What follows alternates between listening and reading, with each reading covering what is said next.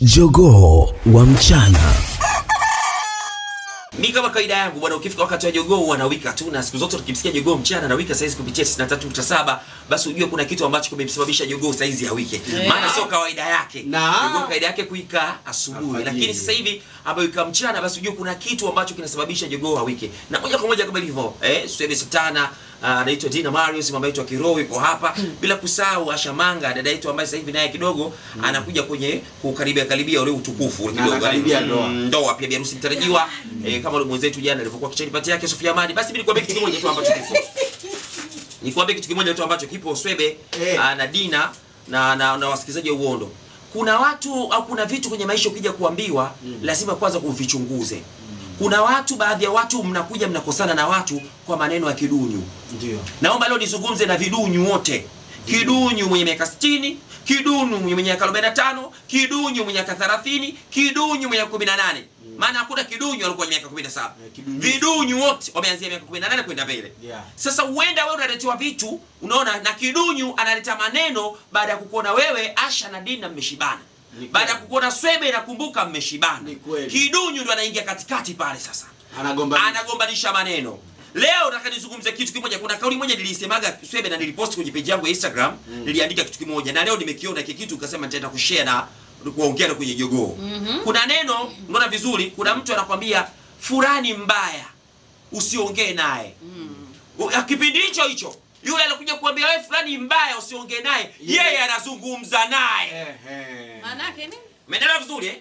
Dina mbaya, usiongee naye. Wewe uko naye karibu. Unaona vizuri eh? Wewe tena unajazwa pale. Unajazwa dina mbaya, dina kuonea choyo, dina kuonea wivu, dina kufanyia hivi. Unaona vizuri dina kupende kutakia mambo yako yaende. Dina mama katika watu unaotafuta wacha ile pamoja dina Mario. Eh. Yeye wewe ndio anakujaza sumu. Unaona unaingia sumu, unamchukia yule anayekwambia Unaanza kufikiria. kufikiria. ndio. Maana, ndio maana kumbe dada wanachota chota. Ndio maana kumbe- wewe hiyo akitoka pale mama anakwenda sasa Kwa Dina. kwa Dina. Akishafika kwa Dina, akai sasa kuelezi kwa kwa mazuri yako. Anaku ile ndio ana- anakupigisheni shoti. Eh. Mnapigishwa shoti kama vile waya za TANESCO pale. Kunguru katua. Anaanza. Kwani kwani Dina kumbuka umemfanya nini? Ehe, maana anavyokuongelea. Yaani anapokuongelea ni yule kaka muone vile vile. Anajifanya eh, anajifanya mwema kweli. Eh. Naomba nizungumze na wewe kidunyo mwenye shepu kama bilika mkoloni. Eh? Eh, kidunyo yote unanisikia mwenye shepu kama bilika ya mkoloni. Unajua bilika mkoloni Eh. chini ilikuwa imejazia. hivi. Eh, eh, zenyewe bilika mkoloni. Mwenye shepu weka birika mkoloni tena bali birika nyaka hawa. Kidunyu mfitinishaji, mpiga shoti maarufu. Mama. Watu ushasambatisha udugu watu. Kuna watu wengine mmeshikana, mlishikana ndugu yako na kipenzi chako, dada yako labda waiari au ndugu yako mnafanyiana. Akaingia hiari. eh, mama kwa hiari, shangaza kwa hiari, kaka kwa hiari. Akaingia yeye kidunyu mzaza maneno unakosa kizazi. Akaingia pale, akapiga shoti. Shoti ilipopigwa ile waya ambayo ukawaka moto. Leo hii cha ajabu leo ukijiuliza wewe na ndugu yako hamjasonyana, hamjakosana lakini hamzungumzi. Ukijiuliza tatizo wapi? Kumbe maneno ya kuambiwa. Yeah. Maneno ya kirunyu ndio amesababisha wewe na udugu wako leo umeishia njiani.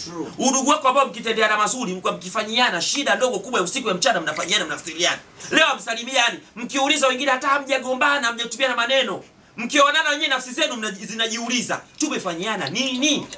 Kumbe je, mjui? Hapa kati kaingia kidunyu. Anaitwa kidunyusti. Kidunyu mama. Ndio. Kidunyu nazungumza tena kidunyu mwenye shepu, mwenye shepu mama kama ungo. Upo. Mwenye shepu kama ungo wa wanga. Kidunyu ndo kaingia hapa kati. Mna mna mnapigwa shoti. Mnagombana mnagombanishwa nyinyi. Mnakuwa sote wa kusalimiana, sio watu wa kufanyiana, sio watu wa kutendeana. Mazuri, familia zenu kwa mnaishi vizuri, watoto wenda kwa mama mkubwa, watoto kuja kwa mama mdogo, wanasaidiana. Nenda kwa dada kwa mama kwa mama mdogo, wewe yani, Ona kwenda watoto wanalala, unawalea vizuri tu ndugu yako, washoga yako. Leo hii hakuna kidunyu kishaingia kati.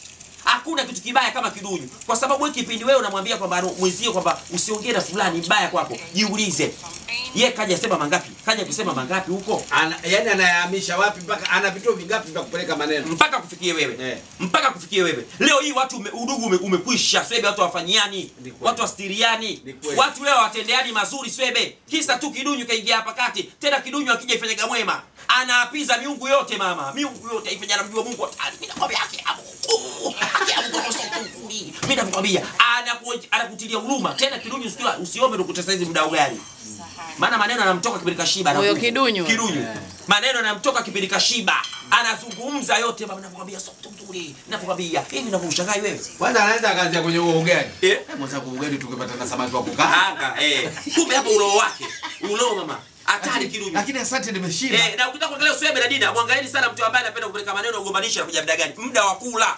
Saa saba, saa moja asubuhi kuja chau saa mbili au saa nne jua nalala vivu na cha usiku ma 12 kafika. Babi sapinapi huyo. Kafika 12 kilo kafika na ripoti kama anaenda sio haji kwa mgonjwa au kibasira. We.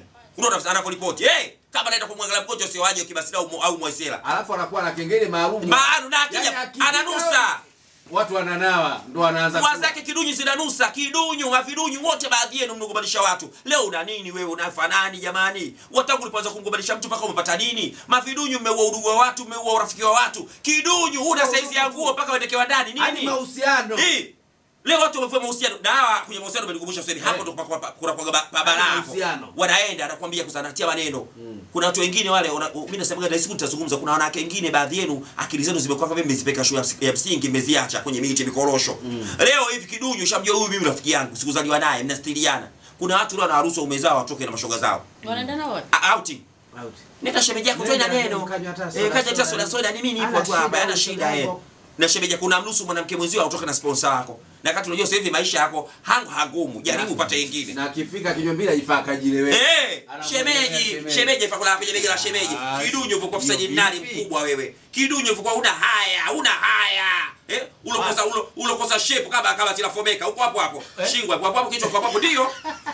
Tuongee hivi tuogope nini? Umejazia jazia, una formula. Wewe mtu gani wewe? Mtu gani kubwa. Na ndio maana umepewa hiyo ya kuhamisha hamisha Eh. maneno hapa pale hapa. unapiga shoti watu unagombanisha watu. Unaenda unawazungumzia watu vibaya. Watu limradi tu wewe. Alafu mtu mwingine yeye akishaona fulani swebe ananisaidia. Swebe labda amesikia mimi na simu, eh jamani dina ana roho yake dada. Ukimwambia shida elfu hamsini tu dina anafanya nini? Anakusaidia. Roho yake basi anakuja aingie kati anataka kumzoea Ana- sana dina. anataka kumzoea dina kama namjua yeye. Kumbe yeye mimi ndo nimemperform, nimempa information za dina. Nimempa information za swebe anakwenda sasa tukia eh dada yangu nasikia una roho yako. Dada kuna mtu asokuwa na roho yake hata kama roho yako mbaya lakini una roho yako mwenyewe ndio unachungwa nayo.